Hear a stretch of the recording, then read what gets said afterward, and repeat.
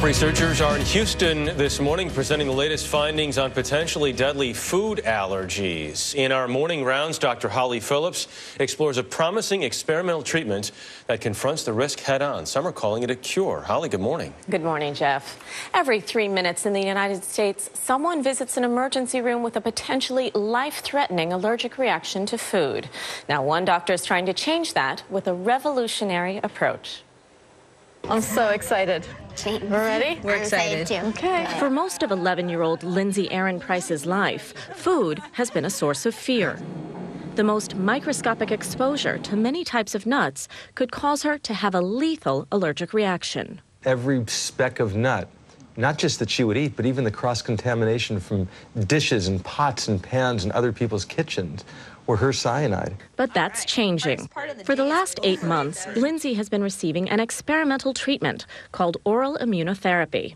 It's part of a clinical trial at Stanford University led by immunologist and researcher Dr. Kari Nadeau. Yeah. We want to give you lots of choices, right? Yeah. Just like your friends are doing without allergies. Bit by bit, her body's being trained to no longer react to foods she's allergic to, a process called desensitization. Tell me how you treat allergies. What we do is to try to take away people's allergies and try to do it permanently. In order to do that, though, you have to give someone back the same food that they're allergic to. We're going pink on the band-aids. At the start of the treatment, Dr. Nadeau and her team give most patients a series of injections to lower the body's immune response.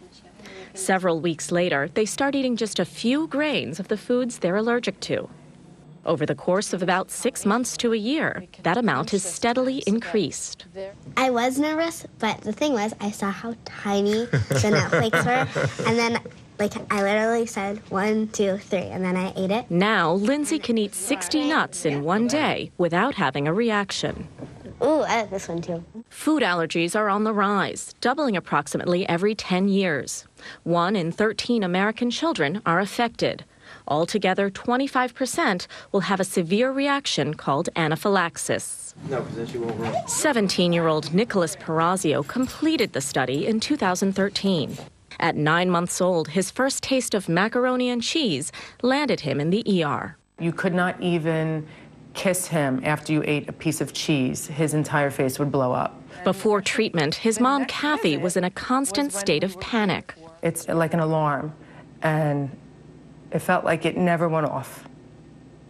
And then after Kari, I felt like, I'm sorry. It's okay. I feel like, it, not that the bell stopped ringing, but it's just quieted. Now, Nicholas takes a daily maintenance dose of foods he used to be allergic to in the form of a cookie. Do you think you changed his life? Oh, I know I changed his life. The treatment is not without risk. Some patients have experienced abdominal pain, skin rashes, and tingling in the mouth and throat. Is this a cure? When I think about the word cure, I think cure is for life. And right now, we haven't tested anyone for their full lifetime. Congratulations. Thanks, Kari. Great teamwork. She's had she's had a lot of firsts. What I've seen is how heroic, how much I admire these people for being able to face their fears and say, but I know at the end of this, I'm going to be able to eat and eat without fear.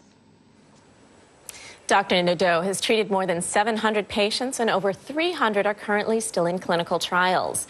And while the therapy has been overwhelmingly successful, it can only be done in a monitored hospital setting.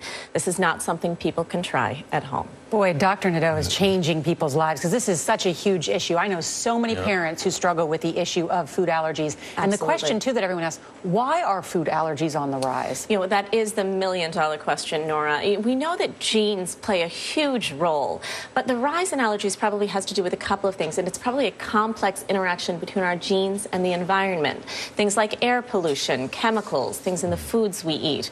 Um, so, you know, there's really a lot of energy and a lot of research being put into But it. But the lack of exposure, too. I mean, kids, none of our kids eat peanut butter because peanut butter is not allowed in schools So anymore. There's a can't get it. hygiene Yeah. hypothesis Yeah. behind it as well. Yeah, really interesting. Thank you so much, Dr. Holly. There's going to be a huge response to this story, no doubt.